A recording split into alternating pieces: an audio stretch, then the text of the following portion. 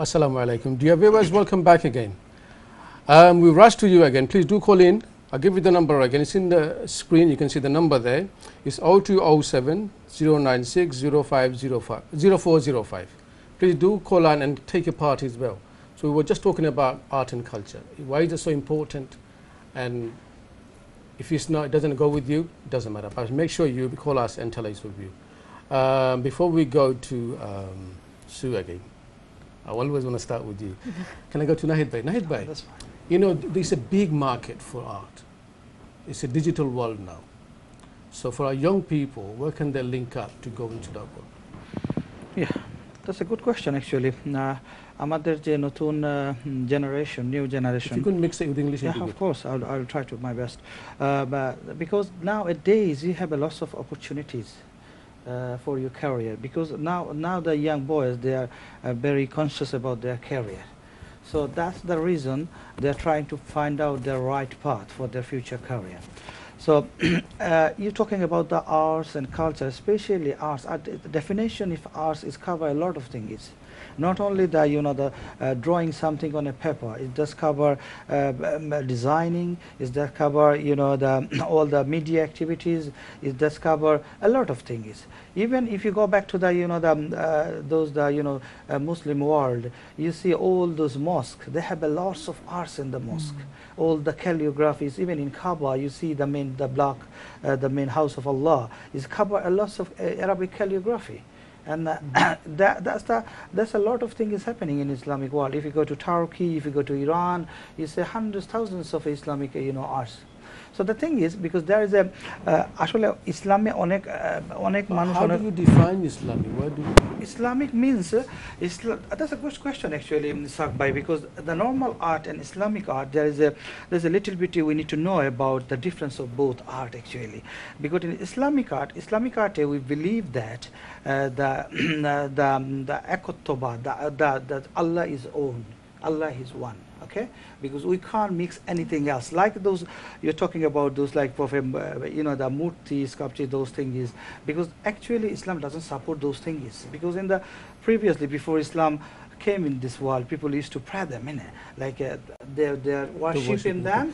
That's why it's little bit, you know, this this this is this is a big question. The you know the Islam Islamic art and the uh, you know the gen- general art in the world because Islam doesn't আমাদেরকে উৎসাহিত করে না এই ব্যাপারে যাতে ওই মূর্তি বানানোর ক্ষেত্রে যেটা ওয়েস্টার্ন ওয়ার্ল্ডের সব জায়গায় প্রত্যেকটা রাস্তার মোড়ে আমরা একটা মূর্তি পাই ইভেন কি আমাদের বাংলাদেশেও সেটা হচ্ছে বিভিন্ন বড় বড় যে লিডার তাদেরকে মূর্তি বানানো বা এটা সেটা কারণ অতীতে এটা দেখা গেছে যে হজরত নূ আলাইসাল্লামের সময় নূ আলাইসাল্লামের পরে ওই ওনার যে উম্মতেরা স্তরে স্তরে স্তরে স্তরে নূ আলাইসাল্লামকে চিন্তা করার পরে ওনার কিন্তু ওই ছবিটা ওই বানাতে শুরু করে ছবি প্রথমে তারা আর্ট আচ্ছা, আমরা যদি মানুষ করলাম না মনে করেন মানুষ তো সবাই করে না।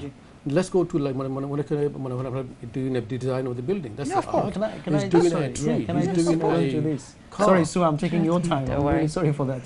Um, আমি মনে করি যেটা ভাইয়া বললেন যে ইসলাম ডিসকারেজ করে আমাদের কিছু কিছু ব্যাপারে যেমন নুডিটির ব্যাপারটা Of হচ্ছে course. Nudity Islam doesn't allow it it- for many reasons we, I don't It's have in to the old explain religion it. actually Yeah, exactly we go to another um, topic. and and making sculpture and uh, you know making uh, someone's image that that's a different issue but at the same time islam does encourage us to um, promote things like you know d- uh, uh, doing like S- sister shimu does landscape Uh, it- it's it's a you actually in a way you praising god the creator who created that beautiful thing so it's, it's always encouraged in Islam. I would say not only this. If, if we look into the architect, architectural um, design in, in, in different mosques, even if I was to give an example of Persian mosques, Iranian mosques, and all that, you'll see is so precisely, um, mathematically, geometrically correct and accurate everything.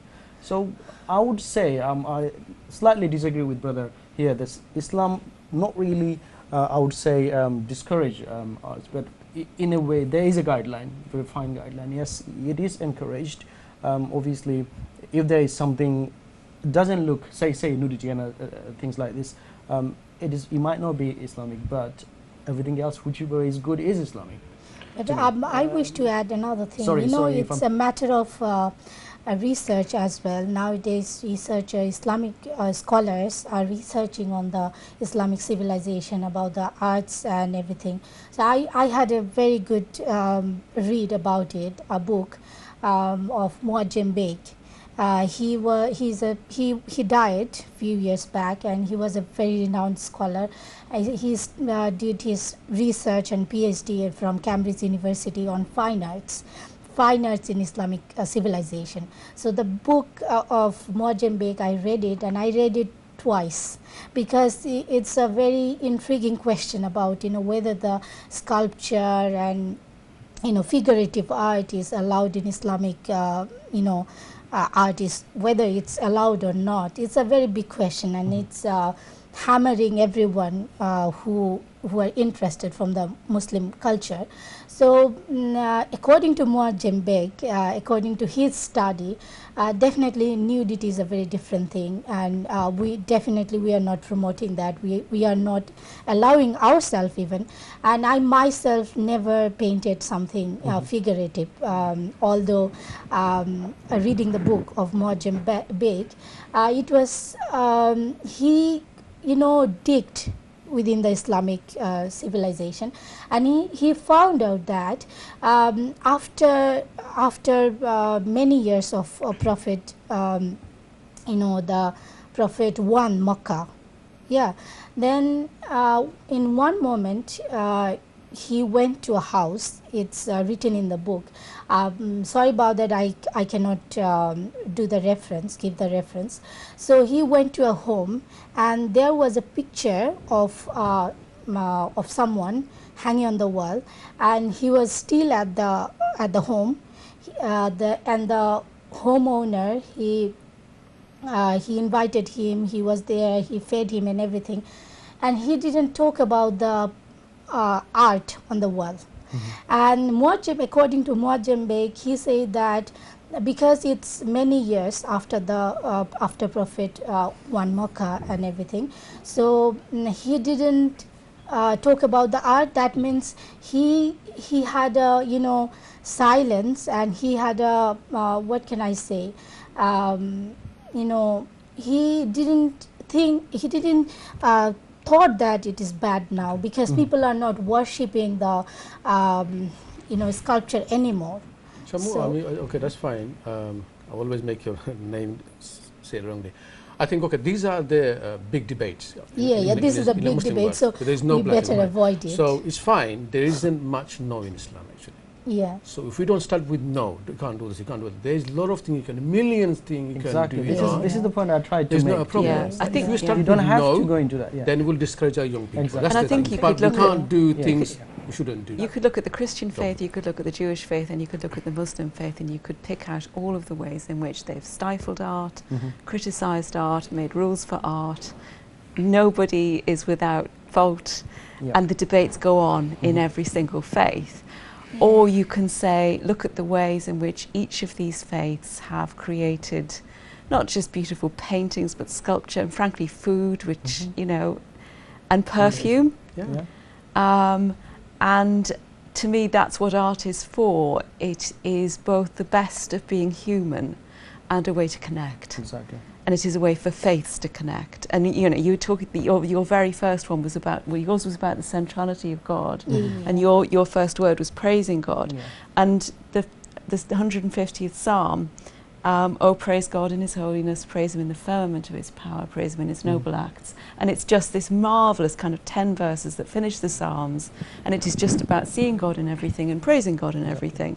And it unites all three faiths because it's, it's Yeah. David. It's the And Psalms very, of very good David. point. I'd just like to add, uh, we, we, through this, um, is very, it's a very common platform for all faith.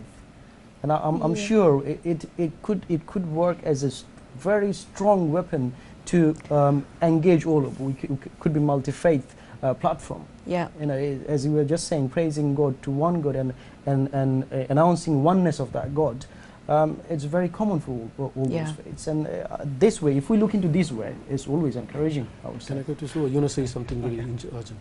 Just I want to say that actually uh, what I'm saying actu- actually Islam Islam did not uh, you know the demotivated for the, you know the art and thing is my point of view this there is a guidelines Mm. because there is a guidelines about this guidelines only not for the Islam other religion they For also mankind, follow it. yeah. Mm. No, deep, no, uh, no deep Yeah. art. This thing is even Christianism, even uh, Jewish. Yeah. No, no one like that one. So that's the thing is because now in the Western world, more secularism, more liberalism, those things affected again. There's a conflict between the religion. This this is the problem. And my point of view, if we are in, in the, within guidelines, that's all right. mm -hmm. But you can't, you know, you can't cross the guidelines. My point of view, I think you misunderstanding sure, me. I'm sure. Yeah, because because we have to follow because the uh, the thing is আমি যেটা বাংলায় বলব যে ইসলাম কোনো সময় কুসংস্কারকে আপনার বিশ্বাস করে না ইসলাম যেটা বিশ্বাস করে ইসলাম একটা সার্বজনীন ধর্ম এবং আল্লাহ রসুল যেটা নিয়ে আসছেন একটা সবার Islam is for the humanity not only for the Muslim we thought Muslim. Islam is only for Muslim no Islam is for the whole humanity even in Islam is said if you kill one human being is is equal to you kill the whole humanity. So you need to understand. So your thing is whatever you are, you know, that you are drawing or uh, you know, uh, try to do something is for the for whole humanity. Exactly. You're not doing only for the Muslim. So my point of view, we follow the thing is, and if we follow Islam, Islam, Islam is nothing different. Islam doesn't have something uh, like a conservative. Islam have a more thing is, but you need to understand how can adjust because the thing is, uh, especially there's the, oneness is the very important thing is because if you go back to the you know the subcontinent and other part of the world because they made the thing is murti by their hand there were hundreds of murti and they pray for them because Islam is forbidden that one. It's, a- it's, a- fundamental question because the few question we can't you know we can't make any kind of a concession because this fundamental point, point we have to avoid that one. It's my point of view as a you know Yeah, definitely. I appreciate Can I that. You know, uh, uh, just to one, one, one thing, just to add. You know, when they're like in Indian subcontinent, Hindus they make the sculpture of the, um, you know, Yeah, I mean, I think the we, god. we keep the religion as, as, Yeah. as is their yeah, thing the, the god they they very particularly they make it and they worship it worship it but you know when you are just uh, hanging around somewhere and you see a sculpture you are definitely not going to pray that you're not going to worship that sculpture within the road or any I corner of the is, building is a big debate, that's a, as you were that's a, a very important thing. However, I think that um, we need to focus on the purpose of art, uh, the main purpose that we are we are we are expressing our views, uh, like the painting I painted about uh, Palestine. I'm expressing my concern about the Palestinian movement. So this is art as well, and uh, as long as we want to you know encourage young people we need to talk about art and we need to um, you know spread our arts what we are doing uh, in a positive way.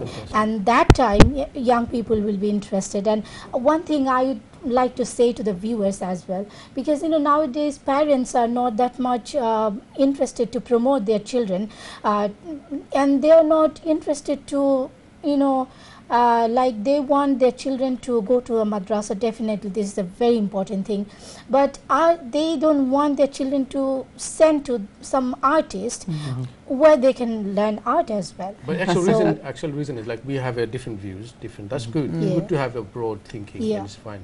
So if we, you know, the reason that people are watching now, so Yeah. they would be confused in some sense, saying, Yeah. okay, am I allowed to do this? Am I not allowed to do this? Am I allowed?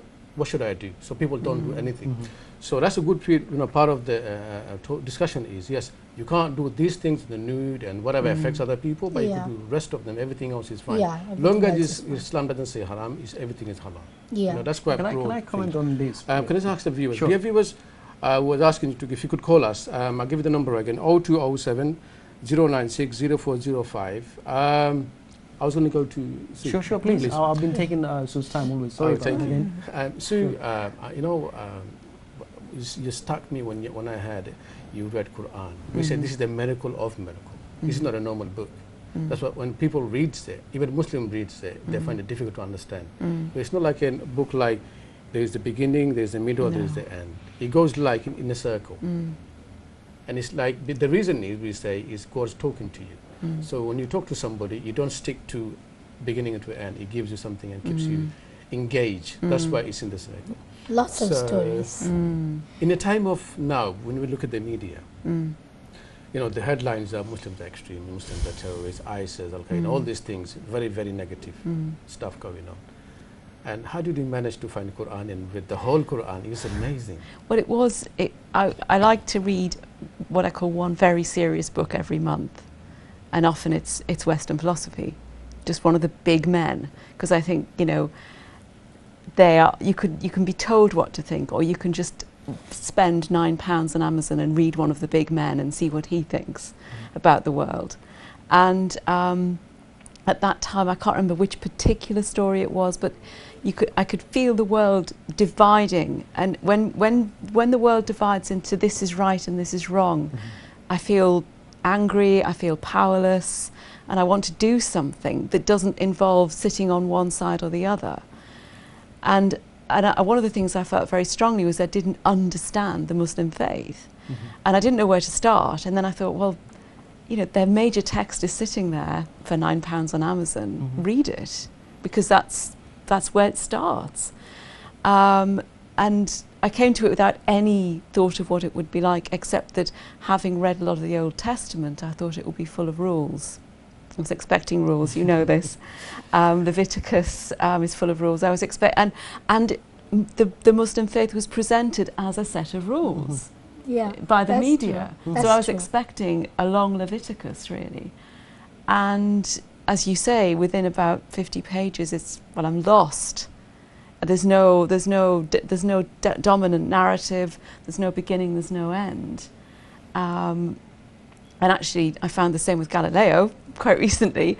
You, and then at that point, I think you have to kind of lie back and let the text come Wow. to you and not start not and stop trying to put it into it's like this it's like that it's like the other and and what it was most like was the song of songs which i wasn't expecting at all um, and it was a lot like the psalms themselves they had, they'd had that melody it had that poetry but what i wasn't expecting was um, a very nuanced debate about modern issues like divorce because there's nothing in the Bible. There's two or three lines that just say it's wrong, and you're out.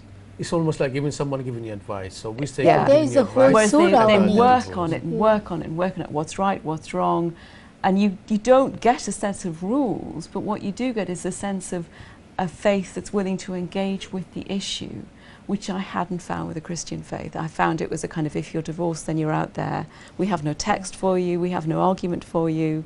With the Muslim faith, I found lots of things I did agree with, lots of things I didn't agree Mm-hmm. with, but there was an engagement.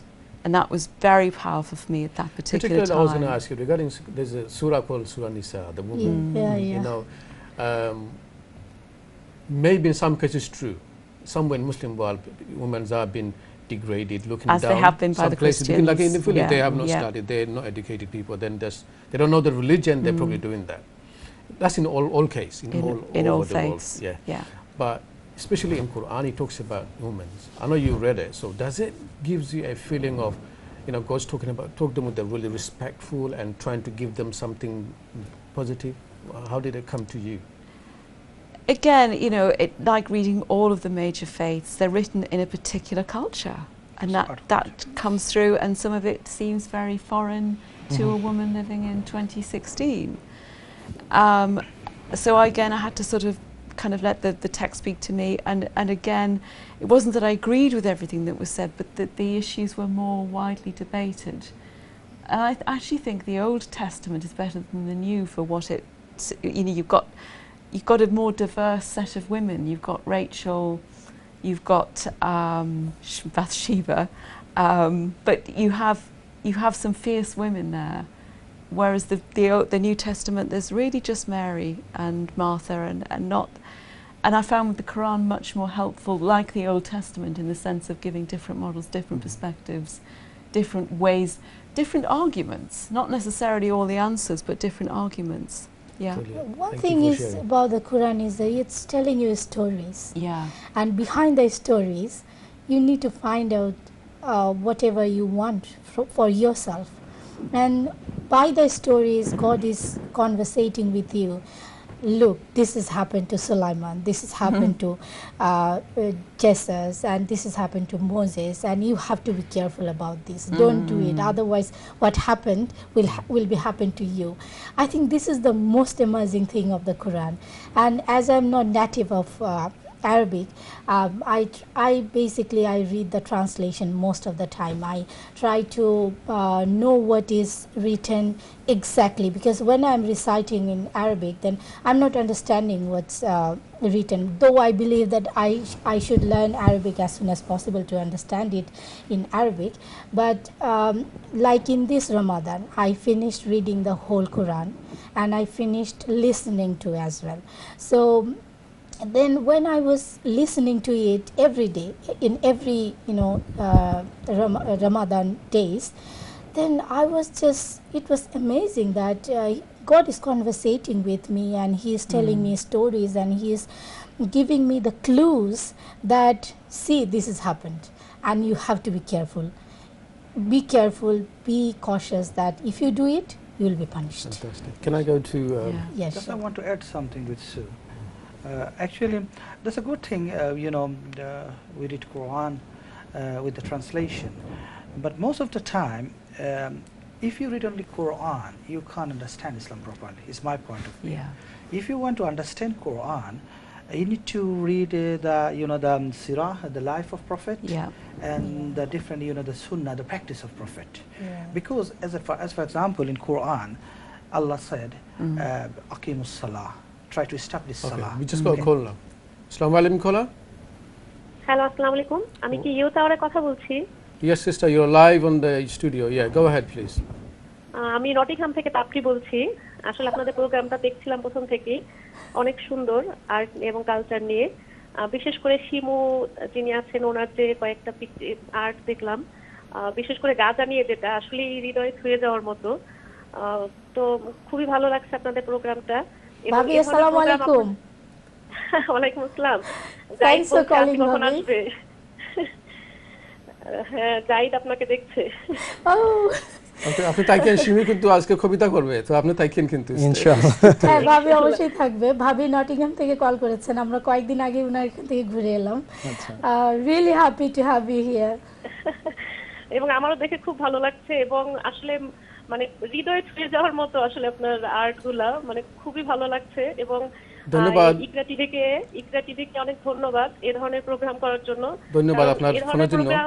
জি, বেশি বেশি করলে আসলে young generation যারা আছেন তারা অনেক আগ্রহী হবেন ধন্যবাদ আমরা একটা স্মল ব্রেকে চলে যেতে হবে বোন আপনার ফোনের জন্য ধন্যবাদ ঠিক আছে ওকে ওকে ধন্যবাদ Thank you, Bye-bye. Jazakumullah khair. Dear sister, brother and sister, we're going for a small break again. Thank